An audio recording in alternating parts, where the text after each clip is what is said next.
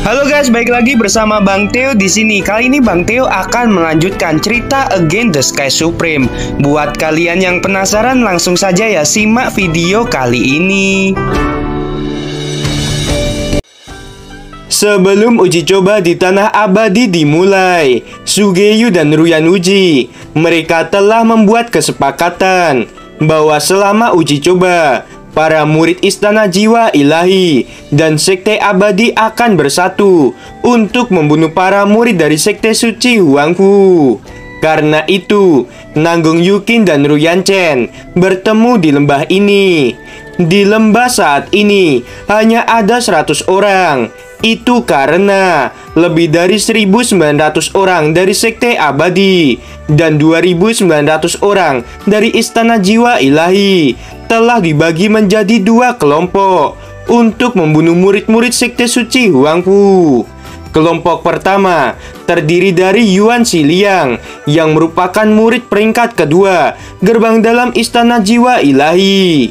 Jia Kuang peringkat ketiga dari Istana Jiwa Ilahi dan King Yang murid peringkat pertama gerbang dalam Sekte Abadi. Tiga hari yang lalu, mereka bertiga memimpin beberapa murid untuk menyergap orang-orang dari Sekte Suci Huangpu di gerbang jurang pemakaman dewa. Di sisi lain, lebih dari 4.000 orang dari Istana Jiwa Ilahi dan Sekte Abadi membentuk kelompok untuk mencari dan membunuh para murid Sekte Suci Huangfu. Ruyan Chan menyarankan agar dirinya dan Nanggung Yukin pergi ke jurang pemakaman dewa untuk mencari harta karun. Tentu saja, Ruyan Chen sudah menyiapkan pil yang tidak berwarna dan tidak berasa untuk Nanggong Yukin. Menurutnya, jika Nanggong Yukin ditaklukkan sebelum lamaran, maka rencananya akan berjalan lebih mulus. Pada saat ini, Nanggong Yukin berkata, Maaf, aku sedikit lelah sekarang dan tidak ingin pergi ke mana pun. Ruyan Chen merasa kesal di dalam hatinya. Tetapi wajahnya tetap tersenyum dan berkata, karena gadis suci merasa lelah, aku tidak akan mengganggumu. Setelah itu, Ruyan Chen berbalik dan berjalan keluar. Ruyan Chen kembali ke goa miliknya yang berada di sisi lain lembah. Setelah itu, Ruyan Chen berbalik dan berjalan keluar. Ruyan Chen kembali ke goa miliknya yang berada di sisi lain lembah tiga wanita cantik dari Sekte Abadi, yaitu Pan Han King, Li Mao Xin, dan Gu Biyun mengikuti Ruyan Chen. Setelah Ruyan Chen kembali ke gua, dirinya berkata, Kalian bertiga masuklah. Baik Tuan Muda, setelah ketiga wanita cantik itu melangkah ke dalam gua, Ruyan Chen melambaikan tangan kanannya dan penghalang kedap suara menutupi gua itu. Tuan muda, ada apa denganmu? Siapa yang membuatmu marah lagi? Li Mausin berkata dengan lembut sambil berjalan menuju Ruyan Chen. Ruyan Chen berkata, Siapa lagi jika bukan Nanggung Yukin? Ruyan Chen menampar pinggung Li Mausin dan berkata, Kamu berbaringlah di depanku.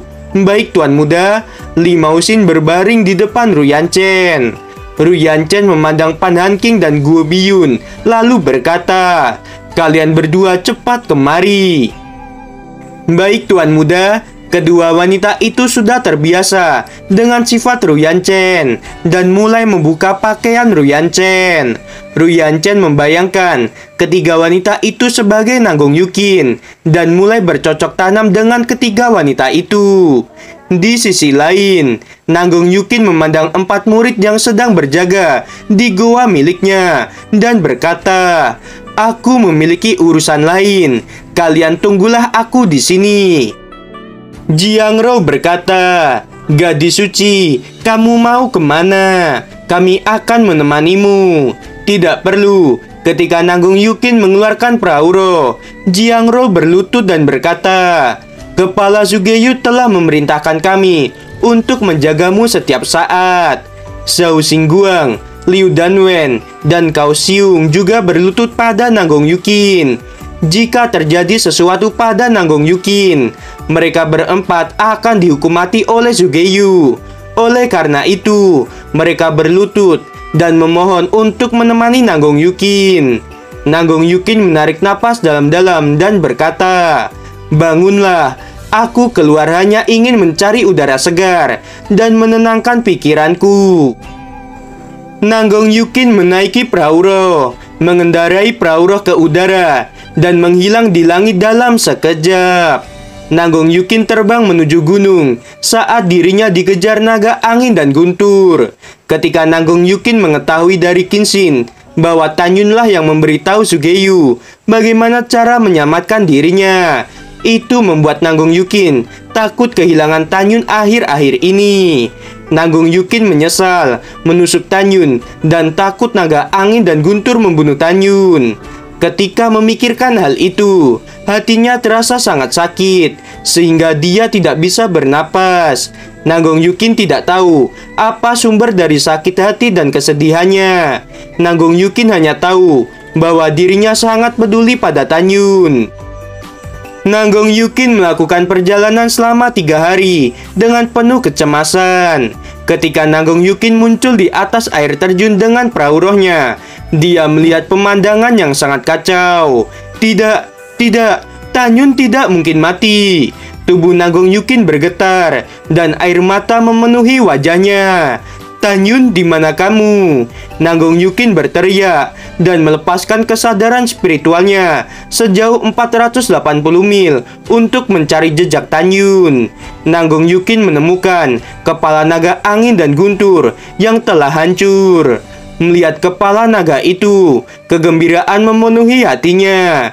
Tanyun pasti tidak mati dan telah mengambil inti monster yang ada di kepala naga ini. Nanggong Yukin menemukan jejak kaki di tanah. Dilihat dari ukuran jejak kaki itu, itu merupakan seorang pria dan seorang wanita. Nanggong Yukin sangat senang. Ini pasti jejak kaki Tanyun dan Gongsun Roxy. Tanyun memang hebat. Dia tidak mati dan baik-baik saja. Pada saat ini, Nanggong Yukin duduk sambil bergumam di dalam hatinya. Selama kompetisi di Sekte Abadi, ketika aku melihatnya dengan wanita lain, aku merasakan sakit hati yang tidak dapat dijelaskan. Seolah-olah aku cemburu pada wanita yang berbicara dan tertawa dengan Tanyun. Ketika aku berduel dengan Tanyun dan melukainya, penyakit jantungku pasti kambuh. Saat aku hampir koma, Tanyun menangis dan berkata agar aku tidak mati. Beberapa hari yang lalu, aku menikamnya dan aku benar-benar sangat sedih saat melihat wajah Tanyun yang membenciku. Apakah aku mencintainya? Apakah aku dan dia memiliki hubungan di masa lalu? Aku berani bersumpah, aku harus menemukan jawabannya. Pada saat yang sama, ketika Tanyun, Mumengi, dan Suezian menginjak pedang terbang, Tanyun merasakan sesuatu.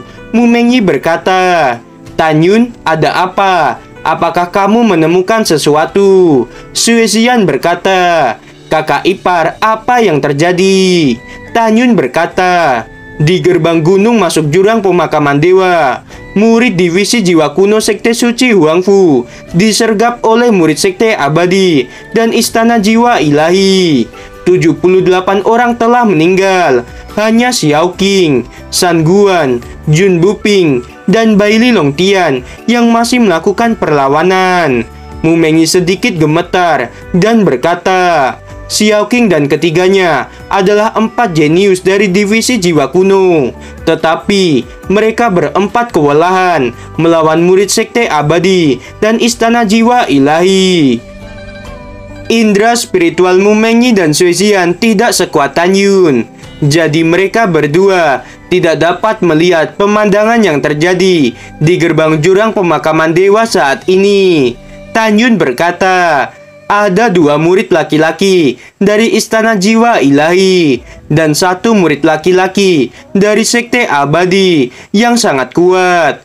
Ketiga murid itu lebih kuat dari Xiao Qing dan teman-temannya. Jika pertempuran terus berlanjut, Paling lama, setengah jam Xiao King dan ketiganya bisa bertahan. Setelah mendengarkan hal itu, Mu Mengyi berkata, Tan Yun, apakah kita akan menyelamatkan mereka? Tanpa menunggu Tan Yun berbicara, Suezian berkata, Mengapa kita harus menyelamatkan mereka? Di kompetisi 9 divisi, mereka ingin membunuh kita. Mu Mengyi memelototi Suezian dan berkata, Ketika kompetisi 9 divisi, Xiao King tidak memiliki niat membunuh padaku dan bertarung dengan adil. Suezian berkata, Aku akan menunggu keputusan kakak ipar. Tan Yun berkata, Perselisihan antar 9 divisi di Sekte Suci Huangfu suatu saat akan menghilang karena murid divisi jiwa kuno tidak memiliki niat membunuh pada kita maka kita tidak bisa membiarkan mereka mati di sini. Dalam perjalanan, Suezian bertanya, Kakak ipar, jika murid divisi lima jiwa diserang, maukah kamu membantu mereka? Tanyun berkata dengan tegas, tidak akan. Mati atau tidaknya murid divisi lima jiwa, aku tidak peduli. Suezian berkata lagi, jika aku memohon padamu untuk menyelamatkan mereka. Apakah kakak ipar mau? Tidak akan. Saat kompetisi 9 divisi, gurumu menyuruh mereka membunuhku. Sian aku katakan, semua murid yang memiliki hubungan dengan kepala jiwa suci, kepala lima jiwa, dan tetua kedua jiwa binatang, yaitu Muronghong, akan aku bunuh semuanya. Suezian menarik napas dalam-dalam dan berkata, Ya, aku mengerti. Pada saat yang sama, di gerbang masuk jurang pemakaman dewa, tepatnya di hutan yang banyak pepohonan, dua murid laki-laki dari istana jiwa ilahi dan seorang pria yang mengenakan jubah murid sekte abadi. Mereka sedang bertempur melawan Xiao King, San Guan, Jun Buping, dan Baili Longtian. Xiao King dan San Guan dengan penampilan acak-acakan dan tubuh dipenuhi luka. Kedua wanita itu memegang pedang untuk memblokir serangan musuh. Jun Buping dan Baili Longtian, keduanya bahkan lebih menyedihkan. Xiao King dan ketiganya sangat sedih karena mereka tidak dapat melindungi 78 murid divisi jiwa kuno. Pada saat ini, ada lebih dari 800 murid sekte abadi dan istana jiwa ilahi yang menonton pertarungan ketujuh orang itu. 800 murid itu membawa senjata dan mengelilingi hutan itu. Hal ini membuat Xiao King dan ketiga temannya tidak dapat kabur. Para murid sekte abadi bersemangat melihat King Yang yang merupakan murid terkuat di gerbang dalam sekte abadi. Pada saat ini, King Yang dengan wajah penuh bahagia melesatkan beberapa cahaya pedang. Di sisi lain, Yuan Xiliang memegang pedang besar dan melesatkan serangan ke arah kepala San Guan. San Guang memegang pedang untuk memblokir serangan itu dan terpental. Sebelum San Guang dapat berdiri, Yuan Xiliang telah muncul di samping tubuh San Guan. Yuan Xiliang memegang buah dada San Guang dengan tangan kanannya. Dia tersenyum dan berkata, rasanya sangat enak. Yuan Xiliang tidak akan membunuh San Guan karena dirinya telah menangkap seorang wanita cantik. Akan sangat disayangkan jika dirinya membunuh San Guan. San Guan berkata, kamu tidak tahu malu. Dia tiba-tiba mengayunkan pedangnya ke arah Yuan Xiliang. Yuan Xiliang berkata, Sayangku, mengapa kamu mengatakan hal itu? Yuan Xiliang tersenyum dan menampar pinggul Cangguan, lalu berkata lagi, Aku akan membuatmu merasakan kenikmatan. Kamu memang binatang. Bahkan jika aku mati, Aku tidak akan membiarkanmu melakukan hal kotor padaku. Di sisi lain, Jun Buping yang melihat wanita yang dia cintai mendapatkan perlakuan seperti itu, lalu berteriak, Aku akan memotongmu menjadi berkeping-keping. ketika Jun Buping memegang pedangnya dan melesat untuk membunuh Yuan Xiliang. King Yang melesatkan cahaya pedang yang membuat Jun Buping terpental. King Yang berkata, Jun Buping, Bai Li Long Tian, lawanmu adalah aku. Di tempat lain, Xiao King berteriak ketakutan. Jia Kuang berkata, Xiao King, kamu memiliki tubuh yang sangat indah. Saat Bai Li Long Tian mendengarkan teriakan Xiao King, tubuhnya gemetar dan berkata, Jia Kuang, lepaskan Xiao King.